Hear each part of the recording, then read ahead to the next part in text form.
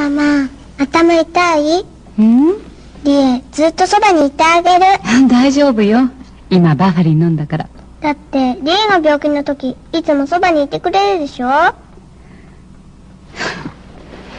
そうか。こうしてた安心。早く聞いて胃に優しい包みバファリン